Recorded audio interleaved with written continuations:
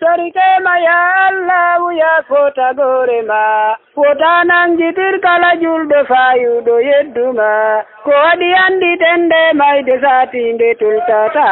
Honorable Mohamed Sek, ancien député à l'Assemblée nationale, Eh bien, actuel, actuel euh, conseiller chargé de mission du ministre d'État du Tourisme, ministre de l'Hôtellerie, de l'Artisanat de l'Hôtellerie, du Tourisme et de l'Artisanat.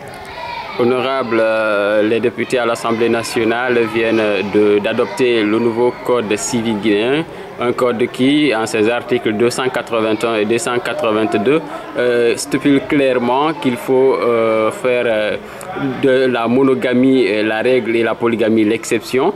Et donc, on ne peut plus se marier à une seconde femme si la première épouse ne donne pas l'autorisation. Quelle analyse faites-vous de cette loi?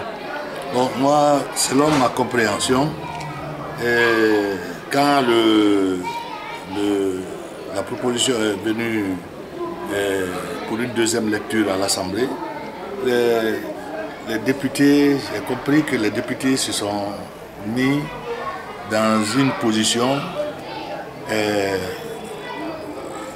disant que les 80 ou 85% de la population sont- de la population est musulmane. Donc euh, on peut accepter la polygamie de façon exceptionnelle. Parce que tout ce temps, depuis euh, 1968, hein, euh, la loi n'autorisait pas la polygamie. C'était la, monoga- la monogamie. Maintenant, l'exception qui a été faite en, 2000, euh, en 2018, en décembre 2018, que le président n'a pas euh, promulgué, il a renvoyé pour une deuxième lecture à la session, à l'actuelle session. Les, les dé- les députés se sont retrouvés dans cette situation. Pourquoi, pas, pourquoi ne pas accepter la polygamie? Alors que euh, le pays euh, a plus de 85% de la, la population de la, la population du pays est à 85% musulmane. Donc, euh, ils, ont, ils se sont mis dans cette euh, situation-là. Ils ont accepté la polygamie de façon exceptionnelle. Mais je n'approuve pas euh, du fait qu'ils disent que il faut l'accord de la première femme. Si vous avez tenu compte euh, de, de- la religion musulmane, vous avez accepté la polygamie, mais allez, allez, allez profondément hein, dedans, acceptez la polygamie par consensus avec, par exemple, les autres épouses.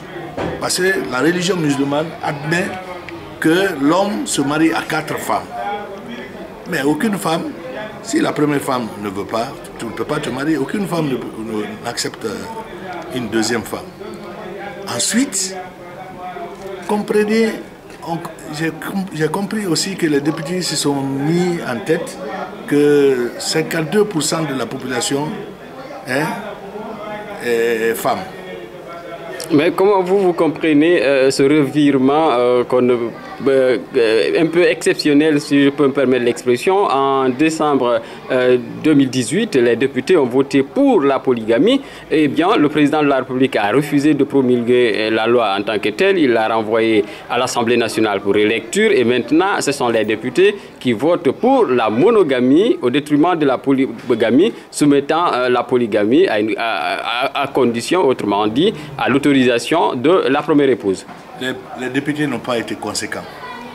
C'est une institution indépendante qui, est, libre et après toute analyse, ils doivent avoir un seul langage, celui de la monogamie ou de la polygamie, tout court.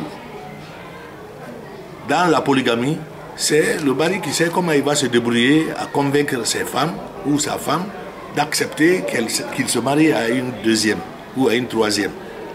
Mais soit la polygamie tout court, soit la monogamie tout court. Ce n'est pas deux sociétés, c'est une seule société. Cette exception-là, je n'ai pas, vu sa raison. Il fallait, décider soit la polygamie, soit la monogamie. Point. Alors, euh, cette loi, euh, est-ce euh, une mauvaise chose en soi ou bien c'est le fait que nous sommes dans une société à dominance polygame? Non, cette loi, si vous prenez chez les chrétiens, il n'y a pas de polygamie. Bon, on peut comprendre qu'ils ils ont pensé aussi à ça, c'est pourquoi ils ont accepté la monogamie d'un côté, parce que c'est un, un pays laïque accepter la monogamie, ensuite la polygamie parce que les musulmans sont nombreux. Dans ces conditions, dites polygamie tout court. Comme ça, le chrétien, il sait que lui, la monogamie n'est pas permise. La polygamie n'est pas permise. C'est la monogamie qui, est de droit chez eux. Lui, il ne, tentera même pas euh, épouser une deuxième femme ou une troisième femme. Vous comprenez? Maintenant, le musulman négocie avec ses femmes pour accepter une autre. Et c'est justement ça le problème, parce qu'on soumet euh, l'homme donc à accepter que euh, sa femme se prononce là-dessus, qu'elle l'autorise, hein, voilà, qu'il obtienne l'autorisation, c'est ça au fait. Ce n'est pas simplement euh, venir informer ou en tout cas lui faire... C'est un problème qu'ils ont créé. Ils ont créé un problème au niveau des foyers. C'est un problème qui est créé. Les députés n'ont pas été conséquents. Sincèrement, ils n'ont pas été conséquents. Je, je, les en veux pour ça. Alors vous, vous avez été député à l'Assemblée nationale euh, et cette loi qui vient d'être euh, votée est prête à débat. Euh, comment vous vous comprenez les sources de loi surtout Les citoyens ne s'y retrouvent pas. comment vous comprenez une telle attitude de nos députés? Bon, ça, les députés doivent savoir qu'il est représentant du peuple. Ce que veut le peuple, c'est ce qu'il doit traduire en loi à l'Assemblée nationale. Donc, si il tient compte de cela, il doit être conséquent. Il n'y a pas deux, poids, deux mesures. Il faut avoir une attitude, euh, une attitude tranchante.